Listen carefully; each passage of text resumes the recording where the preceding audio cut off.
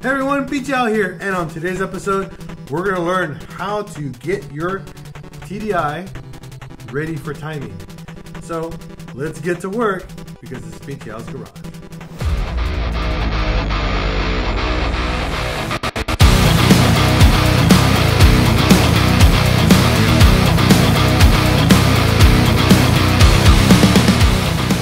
So for us to get this car ready for uh, a timing job, this is a 90, This is a 2001 Volkswagen Jetta TDI with an ALH motor, which means has the external fuel pump.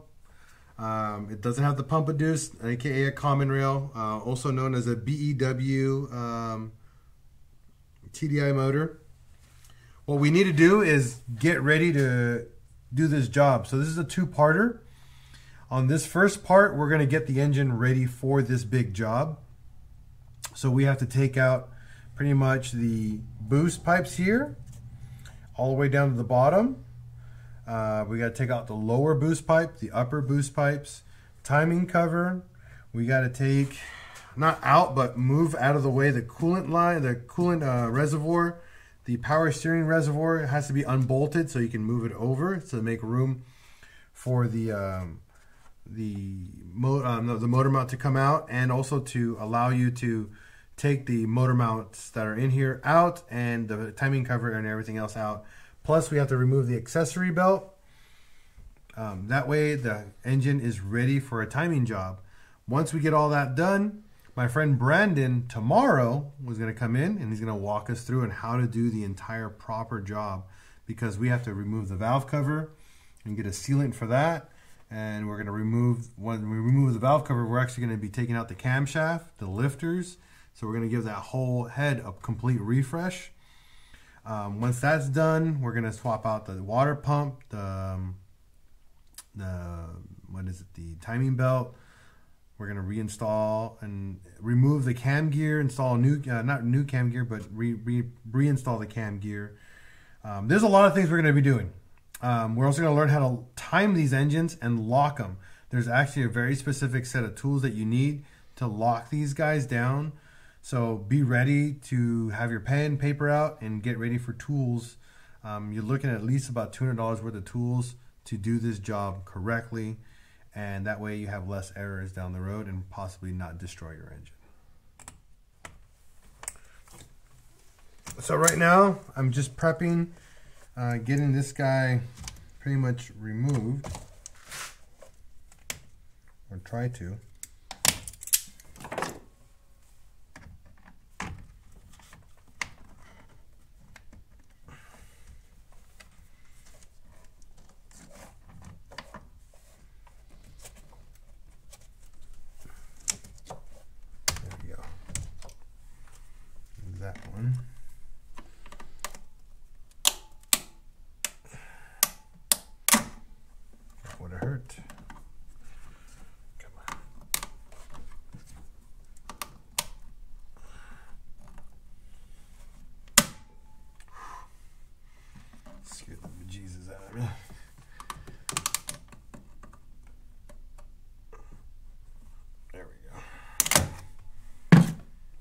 this guy has to come off.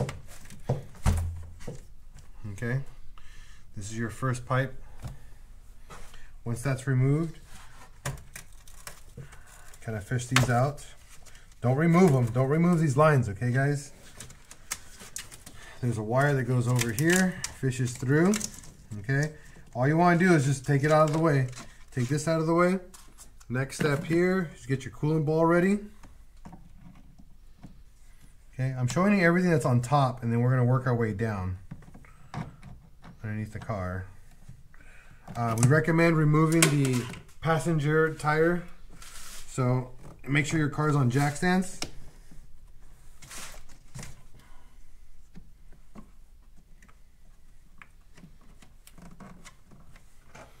The coolant ball is held by two Phillips screws and another clamp down below here.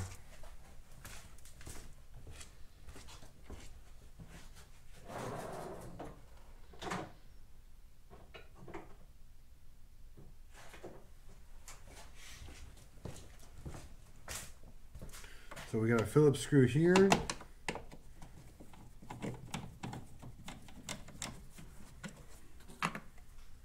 Over here.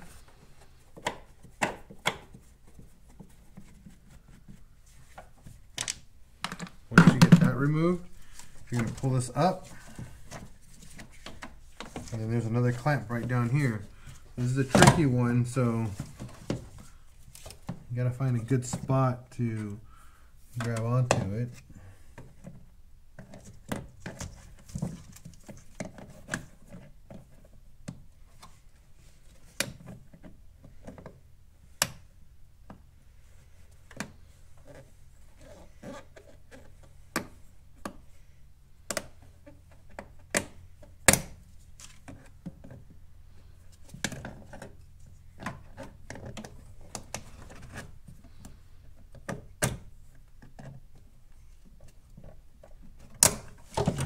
Go.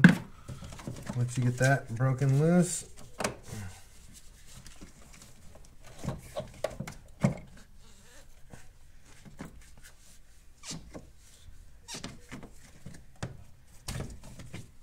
get that out of the way. So here you can unbolt the um, that's not good. You can unbolt the power steering line and just move it over. This gives you access to the motor mount. Um, there's two 16s here, and then there's going to be two 18s on the actual motor mount itself. You need to get this pipe out of here as well. Um, if you have access, which I think I might do, um,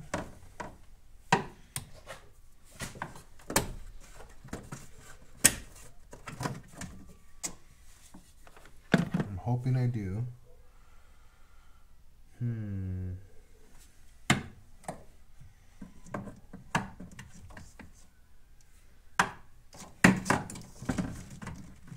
Nope. So this sucks. I wanted to get the uh, the clamp out. I have no way. Oh.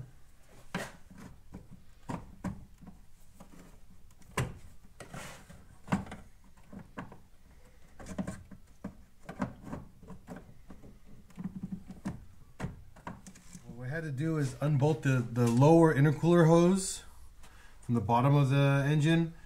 And then once that's unbolted, take the three 10 millimeter bolts that surround the intercooler. So it gives you room to turn it. And I was able to turn the actual pipe just enough to get a clamp in there, have me pliers in there. And literally I'm able to pull this guy out now ever so slowly.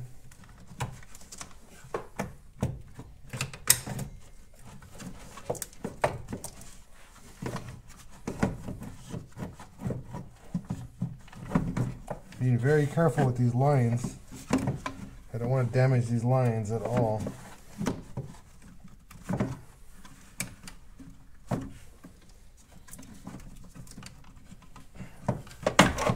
There we go.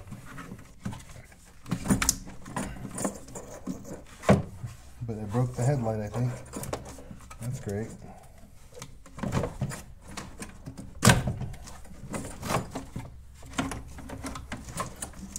I didn't break the lines. Yay. Okay. So there's this boost hose. I think.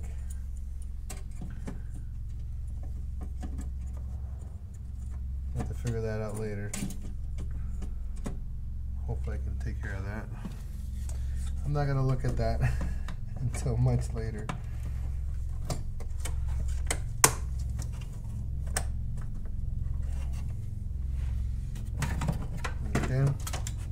So this is what was giving me all this trouble was that clamp. So now that we have the intercooler pipe out of the way, which was a pain, headlight cable unplugged. Next step is the power steering line. I mean a reservoir, it has to be unbolted.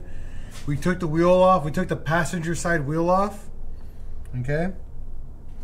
Um, we're gonna have to take the lower intercooler pipe off as well. That way we can access the front of the uh, engine so we can get the belt on and get all the timing components removed. Um, this is a perfect time to loosen the bolts that are on the harmonic balancer or the the lower crank pulley, okay guys? It's a perfect time to do that. If you haven't done it yet, I recommend going down there and getting that done. We'll walk you through that when we get to that point. Um, I'm getting ready to get this last piece up here loosened up and then we're gonna work our way down. All right. So after we got this all taken off, with notice to take the clamp off down here, we have this one. There's a clip right on this pipe, right here. So you don't have to go all the way to the turbo and remove it. Just got to go to this little pipe. So much mud. There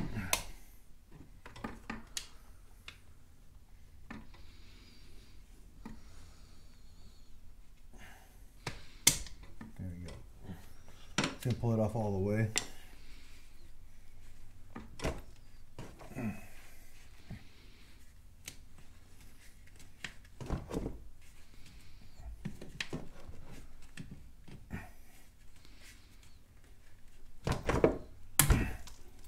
Okay.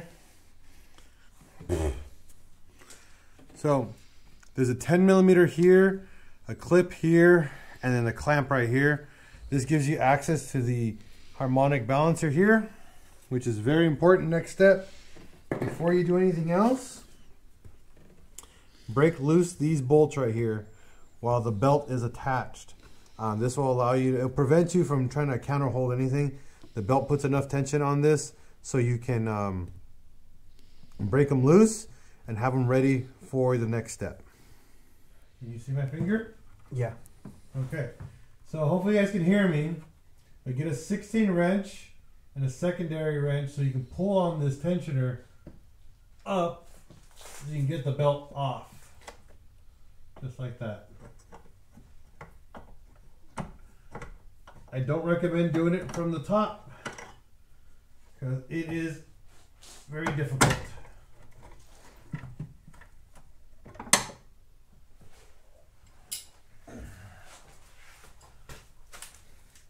So you guys can see here, do your extend your ghetto extension, put a 16 on the on the uh, actual tensioner.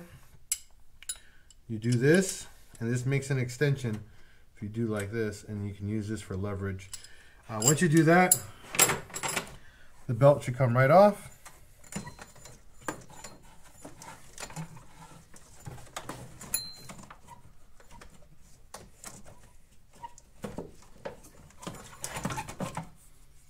Okay. Don't worry about routing. I will walk you through on how to route the belt properly on this car. Okay. Next step is that we have to take off the actual tensioner. So there's 113, two. We'll find the other ones. I think there's more than just two. Oh, three. I count three right now. One, two, three. Let me grab the new tensioner. So this is the new tensioner, like I was showing you before. You're gonna grab your wrench from the bottom of the car, like that. And then you're gonna use this guy for leverage to put your tension and get that belt off. Once you do that, there's three bolts. The third one's kind of hidden. So you'll see one, two, three. These three have to be removed so the tensioner comes off. This is the one that's hiding behind the power steering pump. Um, you shouldn't have to take the pump off. I'll find out right now when we get to that point. But these are the three that we have to worry about, okay? And they're 13s. Okay, so you have the power steering line and a coolant line attached to it. Get a little two, two to three inch extension with a deep socket. And you should be able to reach one,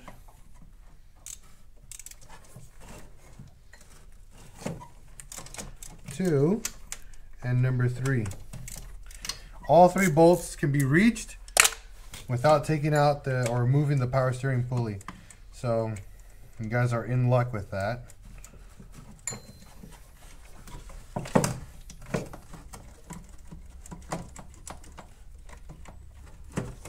Now the reason why the tensioner has to come out, number one, we got a brand new one. Number two, it's in the way of our timing setup. So we have to remove that.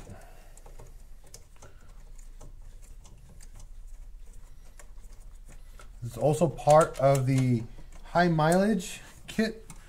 Whenever you guys start dumping a dump bunch of miles on these cars, because that's what these motors are known for, is for literally going forever. You want this car to keep going on forever, you do have to maintain it. Maintenance is key on anything, any VW you own, and quality parts.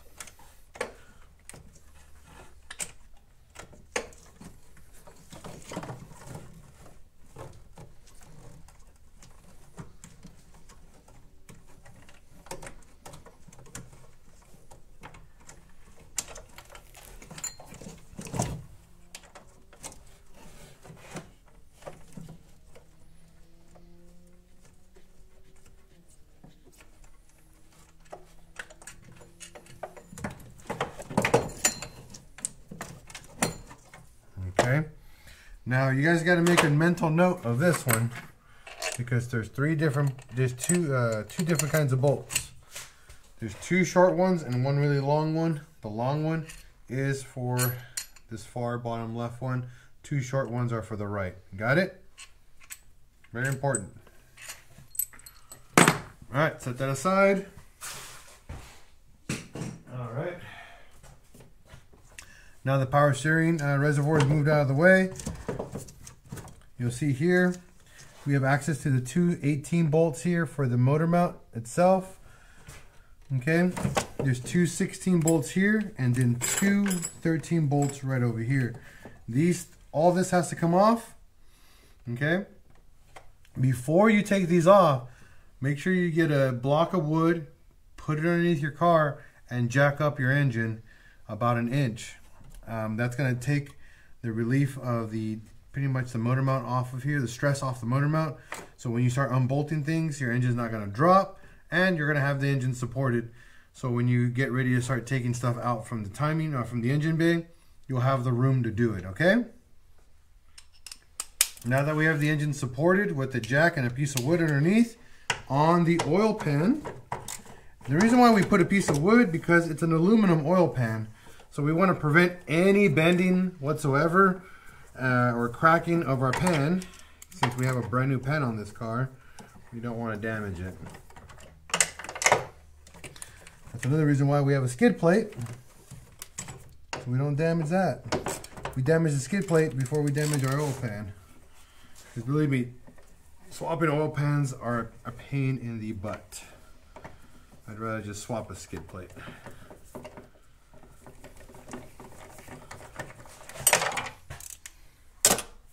So brackets removed from the motor mount. The bolts have fallen down here.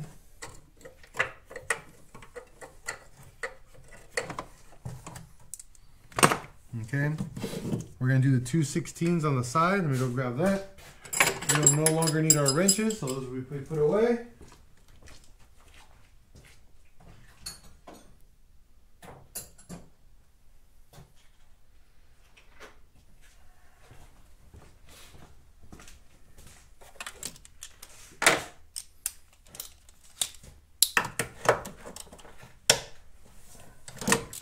First 16 broken loose.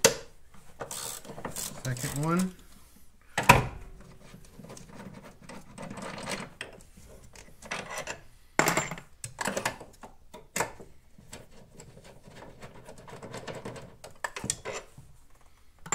Okay. Now that the motor mounts are on, uh, the motor mount is unbolted, we now have to remove this motor mount, which is an 18. Right.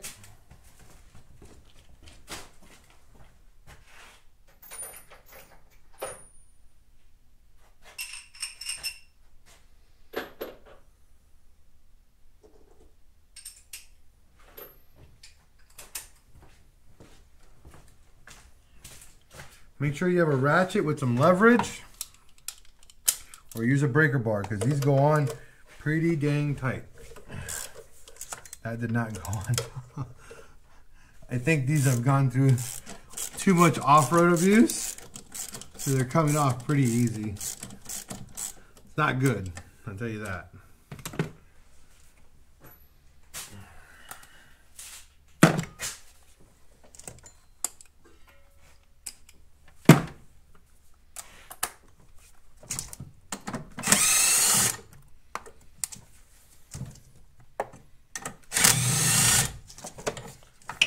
Okay, now with the hardware removed,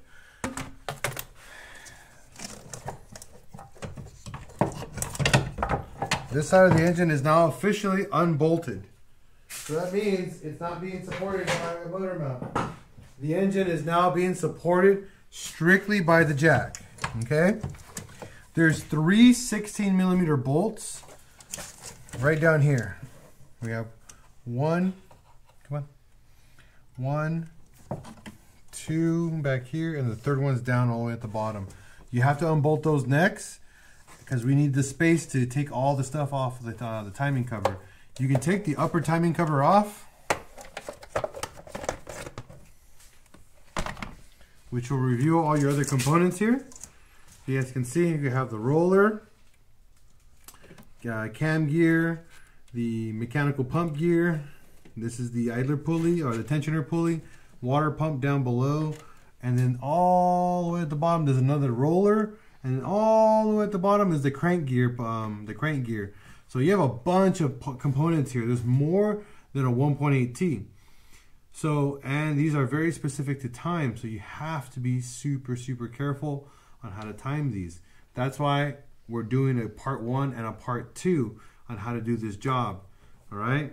A lot of people get sketched out or freaked out because we're taking a lot of stuff off.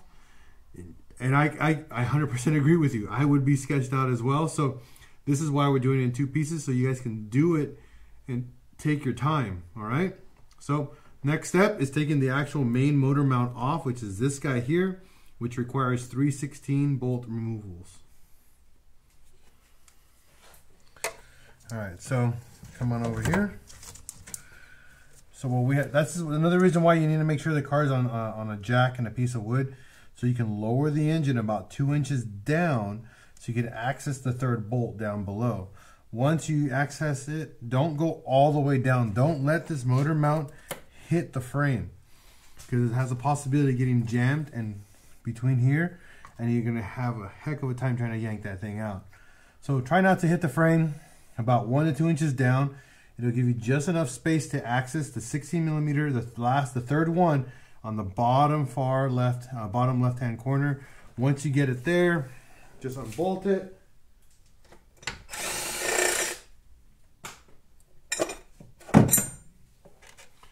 Okay. And now your motor mount is completely loose, okay? It's not ready to remove yet, okay guys? There's still more uh, needed to be done to before you can actually remove that piece because it's technically jammed or wedged in between the engine. So watch out, Sammy. We're gonna lift the engine. Oh, this is what I just talked about. I just jammed it. There we go. Oh, okay, and then we go back up.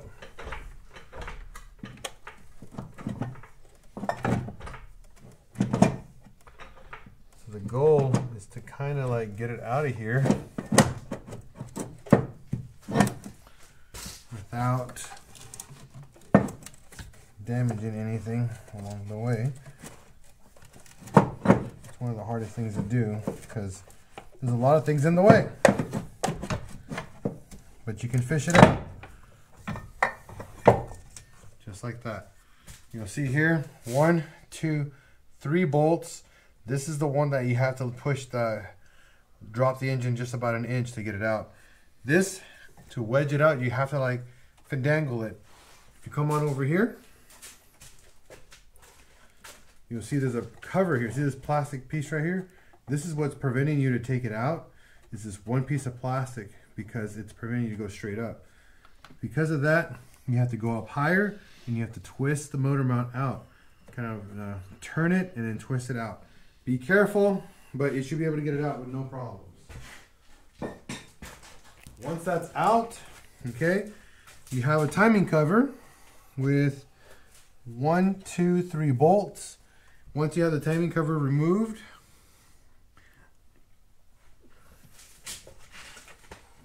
you'll see there's one, two, three 10 millimeter bolts down here.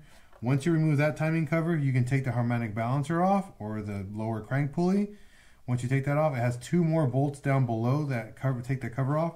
And now your timing uh, preparations are ready for you to start. This is just to get you started to doing the timing job. This is not the actual timing job. I'm teaching you guys how to get it ready before you get freak out and see how much more difficult it gets.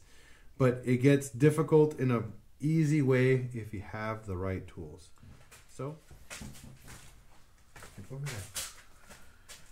okay. So lower timing cover is now removed with the harmonic balancer removed. You should have had that already ready for that. So cam gear, you got your uh, mechanical pump, you got your tensioner pulley, water uh, water pump, idler pulley, crank uh, the crank gear, and then you have these two rollers right here. Your entire kit should include everything that you see here uh, with a new belt and everything and all the new hardware as well. Be ready. And we're going to walk you through the next step tomorrow when Brandon shows up early in the morning.